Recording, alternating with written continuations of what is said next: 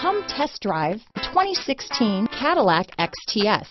The Cadillac XTS will have every kind of feature you can think of. It comes with a spacious, high-tech cabin and packed with lots of safety features. It is a full-size luxury cruiser, a pleasant ride for any Caddy owner. This vehicle has less than 35,000 miles. Here are some of this vehicle's great options.